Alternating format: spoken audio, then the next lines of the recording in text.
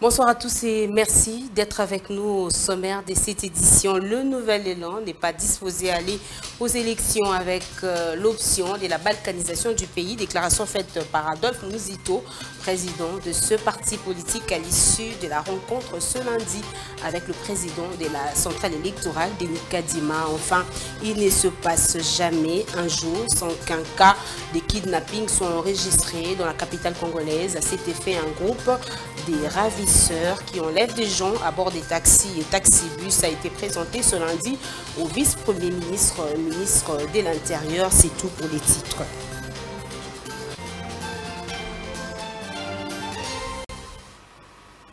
Madame, Monsieur, bonsoir. Le président de la CENI a reçu ce lundi 3 juillet 2023 euh, l'opposant Adolphe Mouzito. Leurs échanges ont tourné euh, sur les questions liées au processus électoral en cours. Cette rencontre intervient euh, trois jours après sa rencontre avec le bloc Katumbi Sisanga Matata le vendredi 30 juin dernier.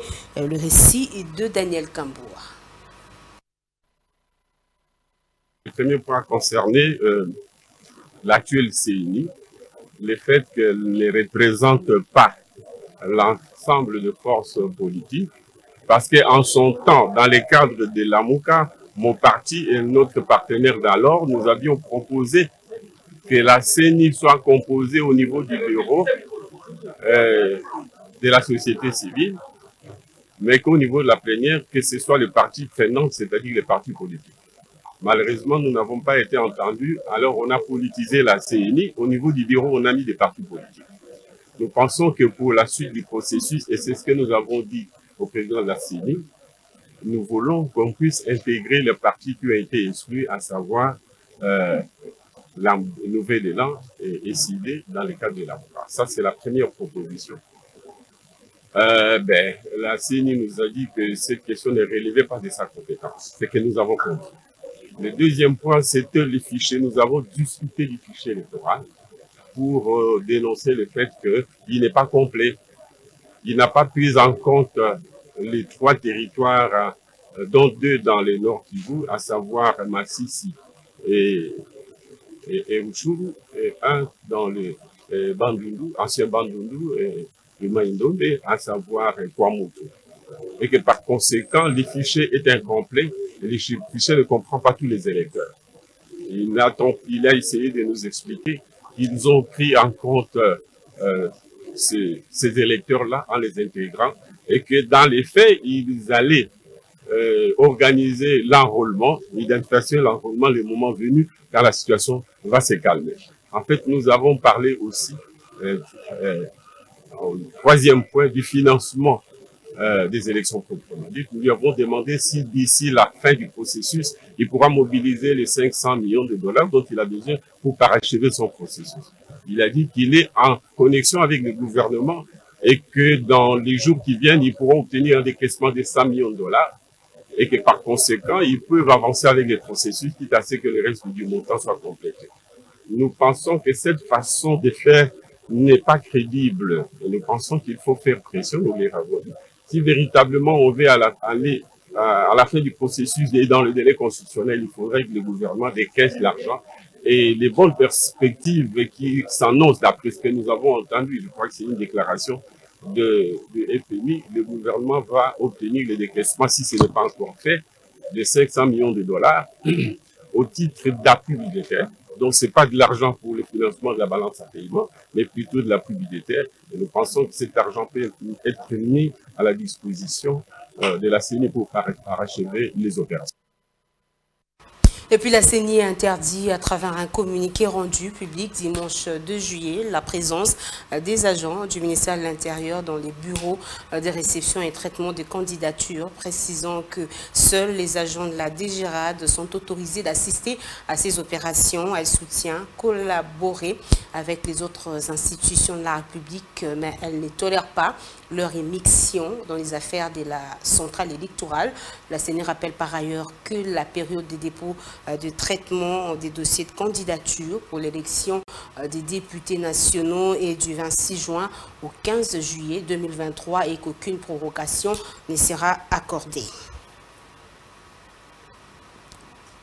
On ne quitte pas encore les couloirs de la centrale électorale. Le président de la commission électorale nationale indépendante a clôturé euh, dans la salle l'abbé Apollinaire Malomalou l'atelier national euh, de validation du glossaire électoral en langue des signes congolaises. C'était le week-end dernier. Plus des détails dans cet élément signé euh, Deborah Wamba. Ces assises ont été organisées cinq jours durant avec l'appui de la Fondation internationale pour les systèmes électoraux. Au total, 45 délégués, dont 18 venant des provinces, ont pris part à cet atelier, assisté par les experts électoraux de la société civile congolaise. D'entrée des jeux, le numéro 1 de la Sony s'est adressé à l'assistance par ce langage visio-gestuel avant d'exprimer son entière satisfaction pour le travail accompli. J'étais tellement curieux de voir les résultats de ce travail.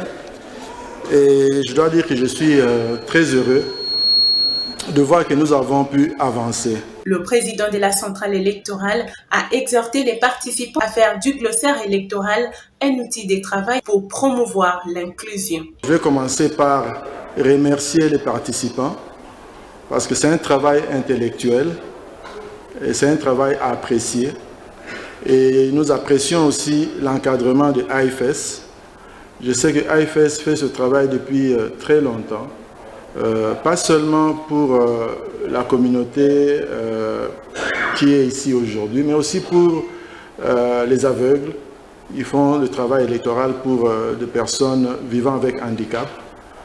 Mais au moins, nous venons de franchir une étape.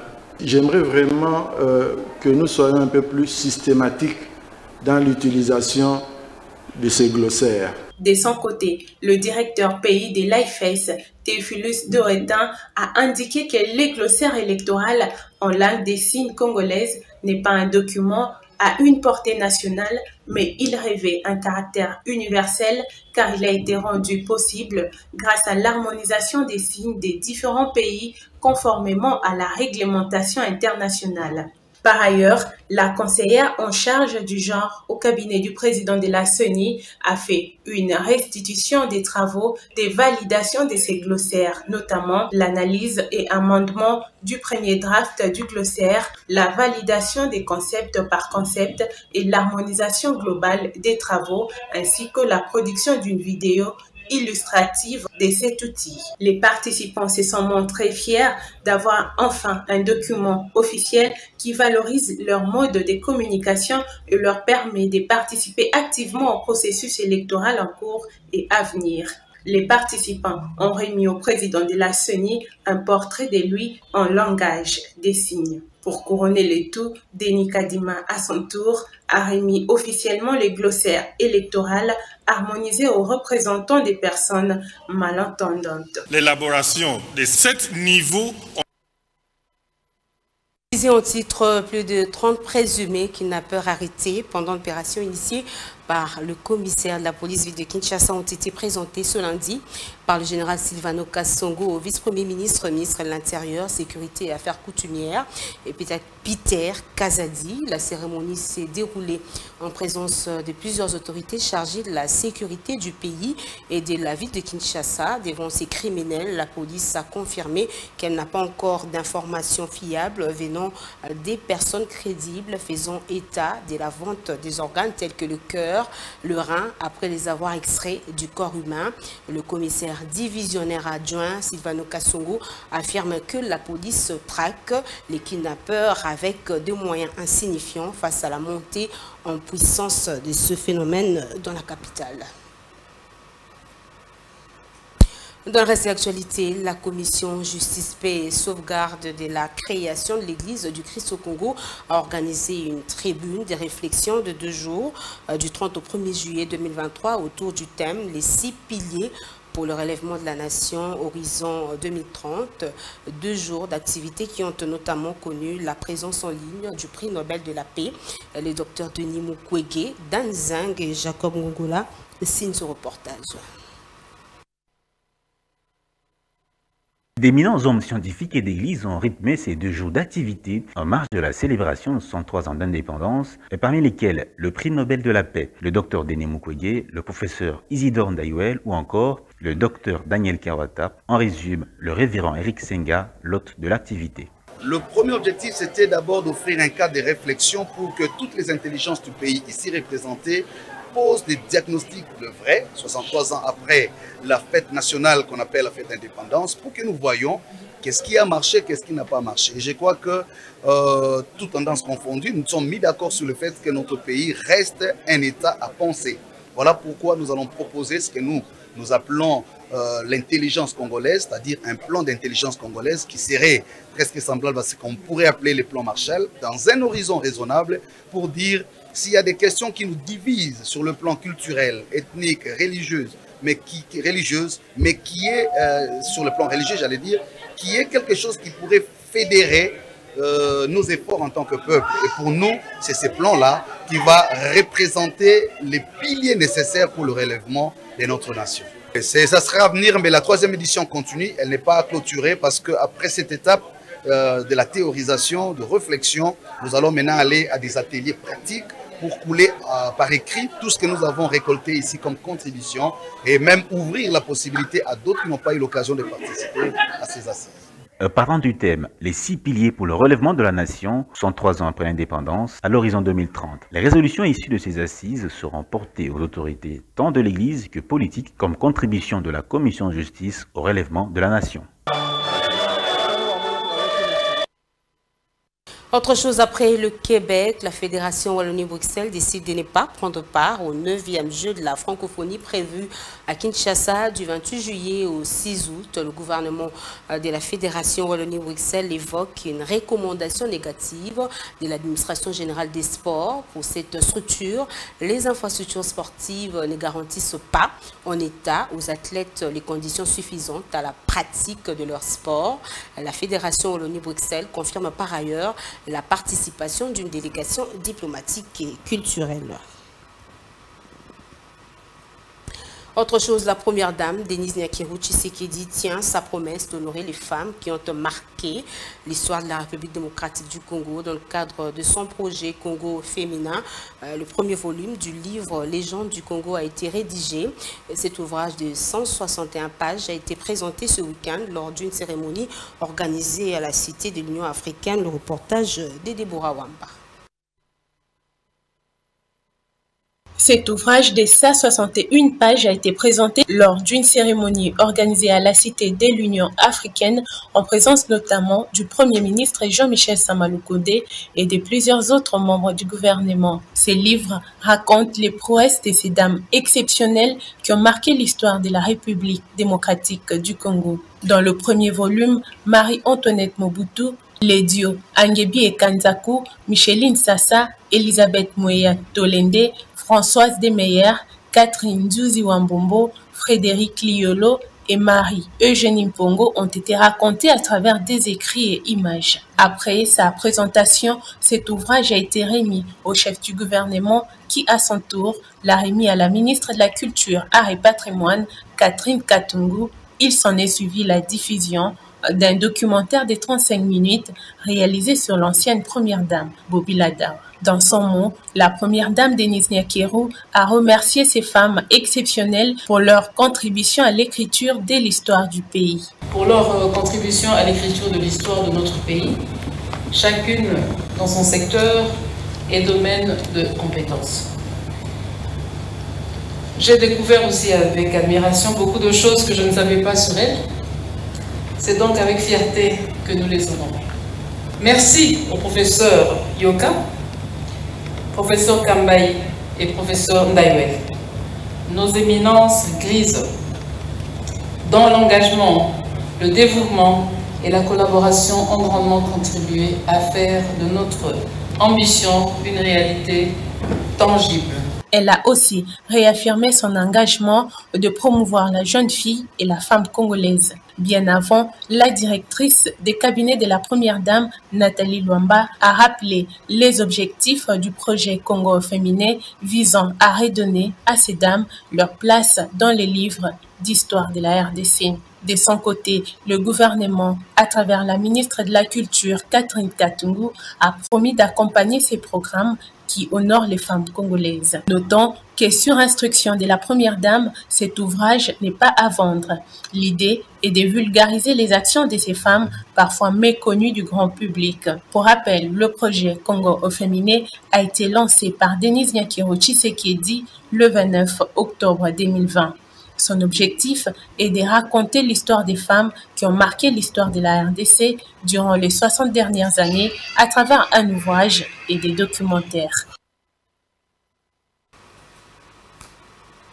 La ville d'Emboujimaï choisie pour abriter la 28e édition du championnat national de karaté.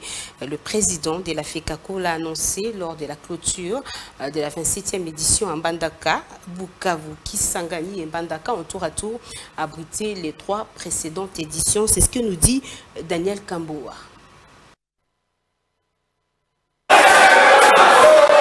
Le niveau technique, l'ambiance lors de la compétition, comme on peut bien les remarquer ici pendant les finales kata et kumité, la 27e édition des championnats nationaux de karaté a tenu toutes ses promesses.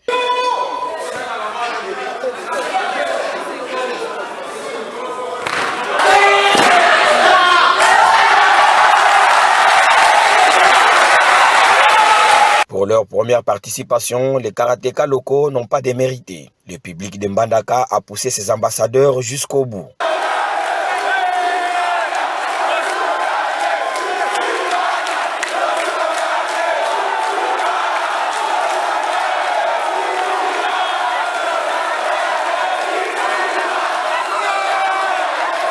L'homme le plus heureux, Freddy Lacombo, président de la Fédération des karaté-do du Congo, FECACO, a saisi cette opportunité pour plaider en faveur des compétiteurs de la province haute. Je saisis cette opportunité pour remercier de vive voix son Excellence Boloko Bolumbu Bobo, gouverneur de province de l'Équateur, pour avoir accepté de patronner cette 27e édition, offrant ainsi aux jeunes de Mbandaka la fête nationale autour de la plus prestigieuse compétition de la Fédération de karaté du Congo, j'ai cité les championnats nationaux.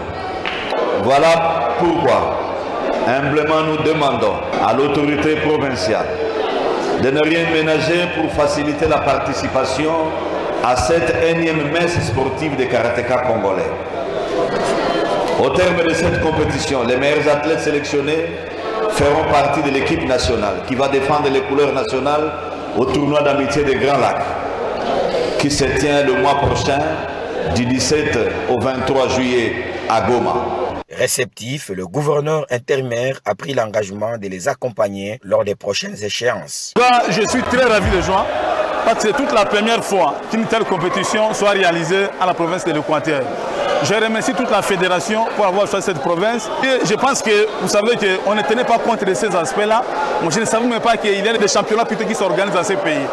À partir de ces championnats, nous avons pris conscience, en toute honnêteté, nous allons appuyer les Équatoriens pour y aller de l'avant et aller dans d'autres coins pour faire mieux qu'ils ont fait aujourd'hui.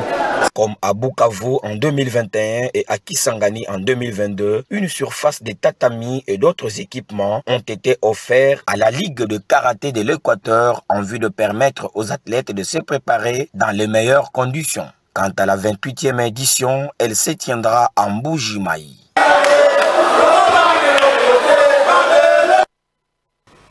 Sport encore, les léopards U20, messieurs de la République démocratique du Congo sont tombés d'entrée au stade des martyrs face aux Panthères gabonais, 3 buts à 4 en match comptant pour la première édition du tournoi de l'UNIFAC dénommé FACHICAP.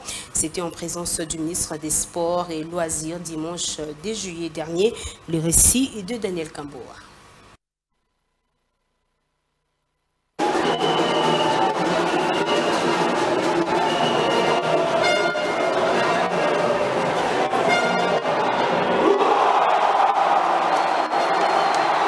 Bien présent pour soutenir le 11 national U20. Il, c'est François-Claude Kaboulo, ministre en charge des sports et loisirs. Les jeunes Congolais ont certes essuyé une défaite, mais qui est loin d'être dramatique, mais plutôt pédagogique pour leur catégorie. En conférence des presses d'après-match, leur entraîneur principal, Guy Boukassa, a évoqué les raisons. La gestion de la charge émotionnelle des néophytes et la mauvaise organisation défensive en font partie. On a manqué de solidarité lors du travail défensif. Ça, ce n'est pas la ligne défensive, mais c'est l'équipe entière. Donc c'est quelque chose que nous devons revoir et permettre à notre équipe d'avoir une meilleure assise lorsqu'elle n'a pas le ballon. Le technicien congolais a souligné que ce match a été une très bonne leçon pour les jeunes léopards qui découvrent le niveau international, bien que déçus du résultat. J'avais plus de huit joueurs qui découvraient les matchs internationaux. Et c'est pas facile pour les garçons. Ils ont appris. L'erreur, c'est nous qui allons corriger. On ne va pas charger les jeunes. En tant que staff, on va tirer toutes les leçons nécessaires pour faire progresser cette équipe. Cependant, Guy Boukassa est resté optimiste pour la suite de la compétition.